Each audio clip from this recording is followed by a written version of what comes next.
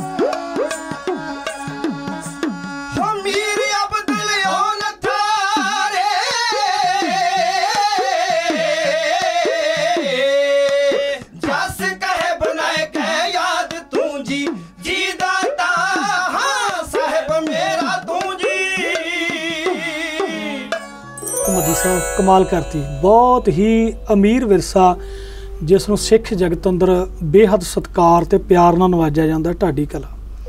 ਗਾਉਣ ਵਾਲੇ ਬਥੇਰੇ ਨੇ ਬਹੁਤ ਕੁਝ ਗਾਉਂਦੇ ਨੇ ਸਾਰੇ ਆਪੋ ਆਪਣੀ ਜਗ੍ਹਾ। ਪਰ ਜਿੱਥੇ ਢਾਡੀ ਕਲਾ ਦਾ ਜ਼ਿਕਰ ਆਉਂਦਾ ਉੱਥੇ ਲੋਕ ਬੜੇ ਸਤਿਕਾਰ ਨਾਲ ਨਵਾਜਦੇ ਨੇ। ਧੰਨਵਾਦ।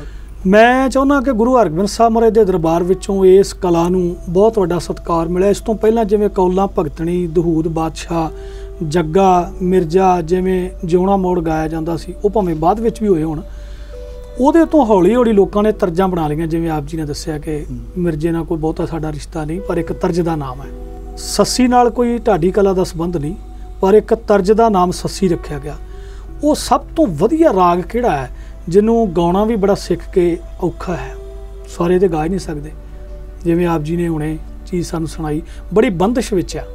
ਇਹਦਾ ਰਾਗ ਤਾਲ ਪੂਰਾ ਜਿੰਨਾ ਚਿਰ ਫਿੱਟ ਨਹੀਂ ਆਉਂਦਾ ਉਹਨਾਂ ਚਿਰ ਉਹ ਚੀਜ਼ ਗਾਈ ਨਹੀਂ ਜਾ ਸਕਦੀ ਸਟੇਜ ਤੇ। ਜਿਵੇਂ ਅੱਜ ਧੂਮ ਧੜਕਾ ਸ਼ੋਰ ਸ਼ਰਾਬਾ ਇਹੋ ਜਿਹੀ ਗਾਇਕੀ ਪ੍ਰਚਲਿਤ ਹੋ ਗਈ ਸੰਸਾਰ ਅੰਦਰ। ਉਹਦੇ ਵਿੱਚ ਗਵਾਚਰੀ ਢਾਡੀ ਕਲਾ ਨੂੰ ਅੱਜ ਅਸੀਂ ਕਿਸ ਮੁਕਾਮ ਤੇ ਵੇਖ ਰਹੇ ਹਾਂ?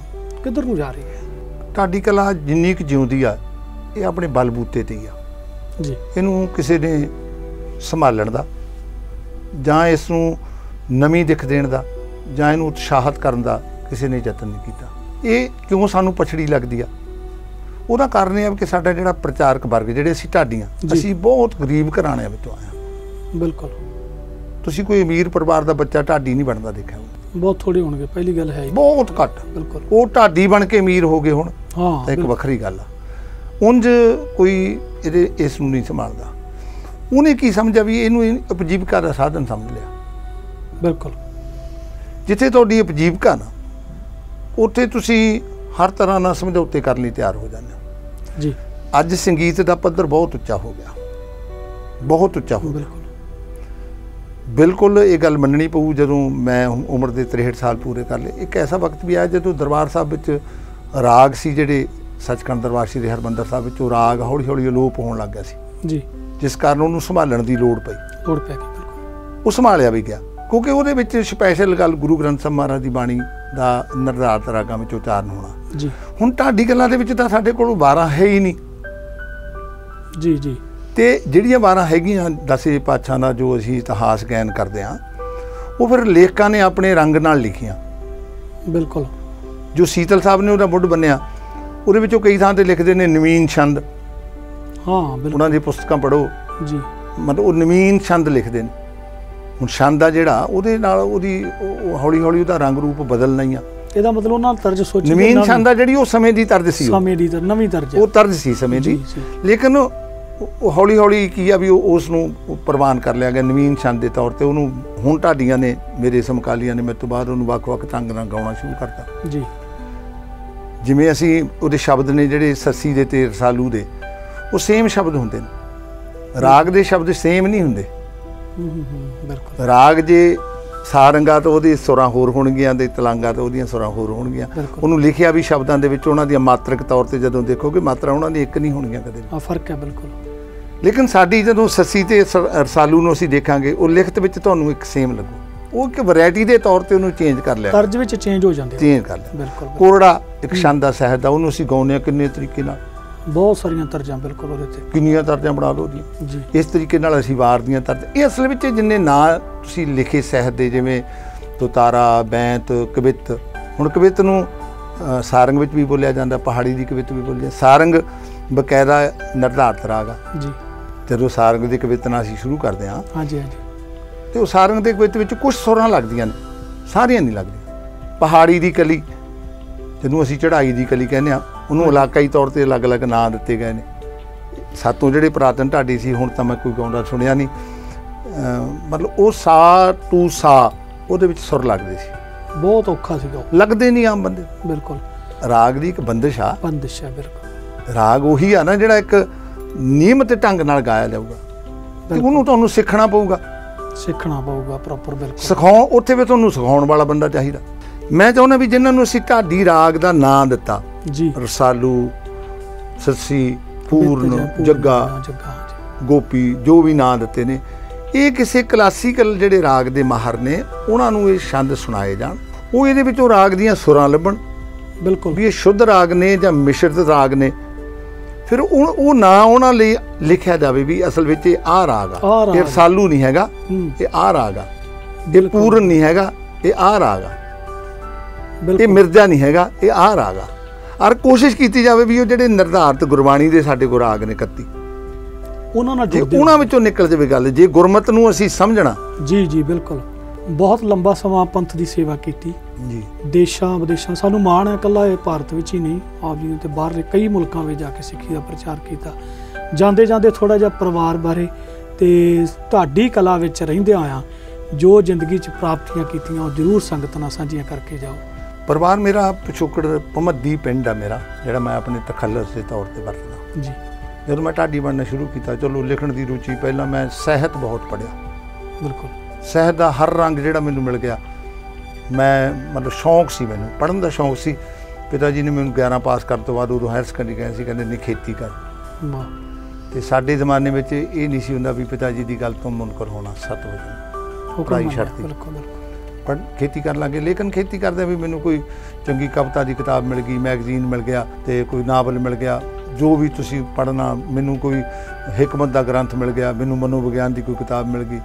ਵਾਹ। ਈਵਨ ਜੋਤਿਸ਼ ਦੀ ਵੀ ਮਿਲ ਗਈ ਜੇ ਮੈਂ ਉਹਦੇ ਨਾਲ ਵੀ ਟੱਕਰਾਂ ਮਾਰਨ ਲੱਗ ਜਾਂਦਾ। ਮੇਰਾ ਪ੍ਰੋਫੈਸ਼ਨ ਜਿਹੜਾ ਬਣ ਗਿਆ ਫਿਰ ਮੇਰਾ ਢਾਡੀ ਬਣਨ ਦਾ ਇਤਫਾਕ ਬਣਿਆ ਵੀ ਮੈਂ ਗੁਰਦੁਆਰਾ ਸਾਹਿਬ ਦੀ ਮੈਨੇਜਮੈਂਟ ਵਿੱਚ ਮੈਨੂੰ ਸੈਕਟਰੀ ਬਣਨ ਦਾ ਮੌਕਾ ਮਿਲਿਆ ਆਪਣੇ ਪਿੰਡ। 1982 ਵਿੱਚ। ਵਾਹ। ਮੇਰੀ ਮਾਤਾ ਬਹੁਤ ਧਾਰਮਿਕ ਵਿਰਤੀ ਦੀ ਪਿਤਾ ਜੀ ਜਮਾ ਹੀ ਨਹੀਂ ਸੀ। ਮੈਂ ਸਭ ਤੋਂ ਪਹਿਲਾਂ ਸਰੰਗੀ ਲੈ ਕੇ ਆਇਆ। ਜਦੋਂ ਮੈਂ ਸਰੰਗੀ ਲਿਆ ਤੇ ਮੇਰੀ ਮਾਤਾ ਬਹੁਤ ਧਾਰਮਿਕ ਸੀ ਮੈਂ ਉਹਦੀਆਂ ਟਿਊਨਾਂ ਕੱਢਣੀਆਂ ਸ਼ੁਰੂ ਕੀਤਾ ਕੀਤੀਆਂ। ਅੱਛਾ ਕੁਝ ਸਮਝ ਲਾਉਂਦੇ ਵੀਰੇ ਸੰਗੀ ਮੈਂ ਘਰੇ ਸਿੱਖਣ ਲਈ। ਸਿੱਖਣ ਲਈ ਮਤਲਬ ਠੀਕ ਹੈ ਹਾਂ। ਮੈਨੂੰ ਸੁਰ ਕਰਨੀ ਆਉਂਦੀ ਨਹੀਂ ਮੈਂ ਜਿੰਨੀ ਕੁ ਮੇਰੇ ਤੋਂ ਸੁਰ ਹੋਣੀ ਮੋਟੀ ਜੀ। ਤੇ ਮੈਂ ਉਸ ਸੁਰ ਕਰਕੇ ਜਦ ਮੈਂ ਵਜਾਉਣਾ ਮੈਂ ਕੋਸ਼ਿਸ਼ ਕਰਨੀ ਵੀ ਗੀਤ ਦੀ ਤਰਜ਼ ਵਜਾਵਾਂ ਹੂੰ। ਮੇਰੀ ਮਾਤਾ ਨੇ ਇੱਕ ਵਾਰੀ ਸੁਣਿਆ ਮੈਂ ਘਰੇ ਬੈਠਾ ਸੀ ਅੰਦਰਲੇ ਘਰ ਰਹਿੰਦੇ ਸੀ। ਉਹ ਮੈਨੂੰ ਕਹਿੰਦੀ ਤਰੋਦਨ ਵੀ ਤੂੰ ਉਹ ਗੀਤ ਗਾ ਛੋਟੇ ਲਾਲ ਦੋ ਪਿਆਰੇ ਵਿਛੜੇ ਸਰਸਾ ਦੇ ਕਿਨਾਰੇ। ਹਾਂ ਹਾਂ ਅਮਰ ਸਿੰਘ ਸ਼ੌਂਕੀ ਦਾ ਸੀ। ਮਾਂ ਨੂੰ ਪੁੱਛਦੇ ਦਾਦੀ ਪਿੰਡ ਹੁਣ ਕਿਤਨੀ ਕੁ ਦੂਰ? ਕਿਤਨੀ ਕੁ ਦੂਰ? ਬੜਾ ਉਹ। ਗੀਤ ਨੂੰ ਜਦੋਂ ਤੁਸੀਂ ਦੇਖੋਗੇ ਉਹਨੂੰ ਕਿਵੇਂ ਰਾਗ ਕਹੋਗੇ? ਸਮੇਂ ਦੀ ਤਰਜ ਸੀ ਉਹ ਕੋਈ। ਈਵਨ ਇੱਥੋਂ ਤੱਕ ਵੀ ਪਾਰਸ ਜੀ ਮੈਂ ਮੇਰੇ ਪਿੰਡ ਜਿਹੜੇ ਲੋਕ ਢਾਡੀ ਸੱਦੇ ਛੇ ਜਥੇ ਹੂੰ। ਇਹ ਸਮਝਣ ਲਈ ਵੀ ਇਹਨਾਂ ਕੋਲ ਕੀ ਆ? ਉਹ ਸੱਦੇ ਜਿਹੜੇ ਬਿਲਕੁਲ ਪਪੂਲਰ ਬਿਲਕੁਲ। ਉਹ ਸੱਦ ਕੇ ਉਹਨਾਂ ਤੋਂ ਸੁਣਿਆ। ਜੀ। ਕਿਹੜਾ 15 15 ਮਿੰਟ ਸਾਰੇ ਜਥੇ ਅੰਦਰ ਤੇ ਕਿਹੜਾ 20 20 ਮਿੰਟ ਦਿੱਤੇ। ਉਹਨਾਂ ਨੇ ਰੰਗ ਦਿਖਾਏ ਵੀ ਆਹ ਕੀ ਆ ਆਹ ਕੀ ਗਾਉਂਦੇ ਨੇ। ਉਹਨਾਂ ਲੋਕ ਕਿਸੇ ਗਾਉਣੇ ਸੀ? ਮੈਨੂੰ ਸ਼ੌਂਕ ਹੈ ਇਸ ਗੱਲ ਦਾ ਮੇਰੀ ਇੱਛਾ ਵੀ ਇਹ ਇਹ ਕਿਵੇਂ ਨਾ ਕਿਵੇਂ ਸਾਂਭੀ ਜਾਵੇਗਾ। ਬਿਲਕੁਲ। ਸਾਡੇ ਕੋਲ ਟਾਈਮ ਥੋੜਾ ਜਿਹਾ ਘੱਟ ਹੈ ਭਮਤੀ। ਸਾਹਿਬ। ਜੀ ਬੜਾ ਕਰਦਾ। ਗੱਲ ਬੜੀ ਪਿਆਰੀ ਆਪ ਜੀ ਦੱਸ ਰਹੇ ਸੀਗੇ। ਤੇ ਸਮੇਂ ਦੀ ਘਾਟ ਹੋਣ ਕਰਕੇ ਥੋੜਾ ਜਿਹਾ ਮੈਂ ਚਾਹੁੰਦਾ ਸੰਖੇਪ ਰੂਪ ਵਿੱਚ ਸੰਗਤ ਨਾਲ ਕੁਝ ਜ਼ਿੰਦਗੀ ਦੀਆਂ ਪ੍ਰਾਪਤੀਆਂ। ਪ੍ਰਾਪਤੀਆਂ ਜੀ ਜਿਹੜਾ ਕਦੇ ਸੋਚਿਆ ਨਹੀਂ ਸੀ ਗੁਰੂ ਨੇ ਮੇਰੀ ਝੋਲੀ ਵਿੱਚ ਉਹ ਪਾਇਆ। ਵਾਹ ਵਾਹ ਕੀ ਬਾਤ। ਕਵਿਤਾ ਲਿਖਣ ਦੀ ਦਾਤ ਮੈਂ ਕਿਸੇ ਨਾ ਮੈਂ ਪਿੰਗਲ ਪੜਿਆ ਨਾ ਮੈਂ ਕਿਸੇ ਤੋਂ ਕਵਿਤਾ ਲਿਖਣੀ ਸੀ। ਬੜੀਆਂ ਪਿਆਰੀਆਂ ਰਚਨਾਵਾਂ ਤੁਹਾਡੀਆਂ ਸਾਰੀਆਂ ਇੱਥੇ ਇੱਕ ਨਹੀਂ ਮੇਰੇ ਕੋਲ ਮੈਂ ਜੇ ਕਿਤਾਬਾਂ ਛਪਾਉਣ ਲੱਗਾ ਤਾਂ ਮੈਨੂੰ ਲੱਗਦਾ ਵੀ ਸ਼ਾਇਦ 30 ਕਿਤਾਬਾਂ ਛਪ ਜਾਣਗੀਆਂ। ਇੰਨਾ ਮੈਟਰ ਮੇਰੇ ਕੋਲ ਲਿਖਿਆ ਪਿਆ। ਤੇ ਉਹ ਢਾਡੀ ਕਲਾ ਵਿੱਚ ਮੇਰੇ ਪ੍ਰਾਪਤੀ ਦਾ ਮੈਂ ਇੱਕ ਆਧਾਰ ਮੰਨਦਾ ਵੀ ਮੇਰੇ ਸਾਥੀ ਮੁੱਢ ਤੋਂ ਮੈਨੂੰ ਬਹੁਤ ਵਧੀਆ ਮਿਲੇ। ਸਰੀਲੇ। ਬਿਲਕੁਲ ਜਿੰਨੇ ਪਰ ਹੁੰਦੇ ਨੇ। ਬਿਲਕੁਲ। ਤੇ ਮੈਂ ਆਪਣੇ ਸਾਥੀਆਂ ਨੂੰ ਬਹੁਤ ਪਿਆਰ ਕਰਦਾ। ਤੇ ਸਨਮਾਨ ਜਿਹੜੇ ਵੀ ਵੱਡੇ ਸਨਮਾਨ ਨੇ ਸਰਕਾਰੀ ਸਨਮਾਨ ਤਾਂ ਸ਼ਾਇਦ ਮੈਨੂੰ ਕਦੇ ਵੀ ਨਾ ਮਿਲੇ। ਨਹੀਂ ਅਰਦਾਸ ਕਰਦੇ ਆ ਤੁਹਾਡਾ ਹੱਕ ਵੀ ਕਿਉਂਕਿ। ਮੈਂ ਮੇਰੀ ਆਦਤ ਆ ਥੋੜੀ ਜਿਹੀ ਜੁਰਤ ਨਾਲ ਗੱਲ ਕਰਨ ਦੀ ਸੱਚ ਬੋਲਣ ਦੀ। ਬਿਲਕੁਲ। ਉਹਦੇ ਨਾਲ ਕੋਈ ਸਮਝੌਤਾ ਨਹੀਂ ਮੈਂ ਕਰਦਾ ਛੇਤੀ ਕੀਤਿਆਂ। ਕਿਉਂਕਿ ਜੇ ਅਸੀਂ ਫਿਰ ਅਸੀਂ ਗੁਰੂ ਵੱਲ ਪਿੱਠ ਕਰ ਲਾਂਗੇ ਜਿੱਥੇ ਗੁਰੂ ਦੀ ਗੱਲ ਆ। ਸੌ ਗੁਣ ਤਾਂ ਮੇਰੇ 'ਚ ਹੋ ਸਕਦੀਆਂ ਨੇ ਪਰ ਜਿੱਥੇ ਗੁਰੂ ਦੀ ਗੱਲ ਆ ਉੱਥੇ ਕੋਸ਼ਿਸ਼ ਕਰੀ ਜਾ ਵੀ ਗੁਰੂ ਨੂੰ ਇਹ ਸਨਮੁਖ ਰੱਖਿਆ ਜਾਵੇ। ਤੇ ਉਸ ਕਰਕੇ ਬਾਕੀ ਸਨਮਾਨ ਕੋਈ ਅੱਠ ਕਥਾਵਾਂ ਤੋਂ ਮੈਨੂੰ 골ਡ ਮੈਡਲਾਂ ਨਾਲ ਕੈਂਠਿਆਂ ਨਾਲ ਸਨਮਾਨਿਤ ਕੀਤਾ ਗਿਆ। ਬਹੁਤ ਹੋਰ ਜਿਹੜੇ ਵੱਡੇ ਵੱਡੇ ਸਨਮਾਨ ਨੇ ਸੋਨ ਗਿਆਨੀ ਸੋਹਣ ਸਿੰਘ ਸੀਤਲ ਸਨਮਾਨ ਗਿਆਨੀ ਬੂਲਾ ਸਿੰਘ ਜੀ ਪਾਖਰਪੁਰੀ ਸਨਮਾਨ ਅਮਰ ਸਿੰਘ ਸ਼ੌਂਕੀ ਸਨਮਾਨ ਪ੍ਰੋਫੈਸਰ ਮੋਹਨ ਸਿੰਘ ਮੇਲੇ ਦਾ ਸਨਮਾਨ ਹਰੀ ਸਿੰਘ ਨਲੂਆ ਸਨਮਾਨ ਕੋਟਲਾ ਚਾਹੀਆਂ ਤੋਂ ਹੋਰ ਮੈਂ ਜੇ ਹੁਣ ਗਿਣਤੀ ਕਰਨ ਲੱਗਾ ਤਾਂ ਉਹ ਬਿਲਕੁਲ। ਉਹ। ਲੜੀ ਬੜੀ ਲੰਬੀ ਆ। ਸੋ ਸੰਗਤ ਜੀ ਇਹ ਸਨ ਗਿਆਨੀ ਤਰਲੋਚਨ ਸਿੰਘ ਜੀ ਭਮੱਦੀ ਸਾਹਿਬ ਸਿੱਖ ਕੌਮ ਦੇ ਸਤਕਾਰੇ ਹੋਏ ਢਾਡੀ। ਜਿਨ੍ਹਾਂ ਦੀ ਜ਼ਿੰਦਗੀ ਵਿੱਚੋਂ ਕੁਝ ਉਹਨਾਂ ਦੇ ਜ਼ਿੰਦਗੀ ਦੇ ਤਜਰਬੇ, ਕੁਝ ਉਹਨਾਂ ਦੇ ਪਿਛੋਕੜ ਪਰਿਵਾਰ ਬਾਰੇ ਵੀ ਆਪਾਂ ਗੱਲਾਂ ਕੀਤੀਆਂ, ਕੁਝ ਢਾਡੀ ਕਲਾ ਬਾਰੇ ਆਪ ਜੀ ਨਾਲ ਵਿਚਾਰ ਸਾਂਝੇ ਕੀਤੇ। ਇਤਨੀ ਕੁ ਸੇਵਾ ਪ੍ਰਵਾਨ ਕਰ ਲਿਓ, ਗਿਆਨੀ ਜੀ, ਆਪ ਜੀ ਦਾ ਬਹੁਤ ਬਹੁਤ ਧੰਨਵਾਦ। ਕਦੇ ਫੇਰ ਸਮਾਂ ਬਣਿਆ, ਜਰੂਰ ਆਪ ਜੀ ਨੂੰ ਬੁਲਾਇਆ ਜਾਵੇਗਾ। ਕੁਝ ਹੋਰ ਵੀ ਵਿਚਾਰਾਂ ਕੀਤੀਆਂ ਜਾਣਗੀਆਂ। ਸੋ ਪੂਰੇ ਟੀਮ ਵੱਲੋਂ, ਪੀਟੀਸੀ ਦੀ ਵੱਲੋਂ ਔਰ ਸਾਡੇ ਸਟੂਡੀਓ ਵੱਲੋਂ ਆਪ ਜੀ ਨੂੰ ਜੀਓ ਆਇਆ। ਧੰਨਵਾਦ ਕਰਦੇ ਹਾਂ ਜੀ। ਵਾਹਿਗੁਰੂ ਜੀ ਕਾ ਖਾਲਸਾ। ਵਾਹਿਗੁਰੂ ਜੀ ਕੀ ਫਤਿਹ।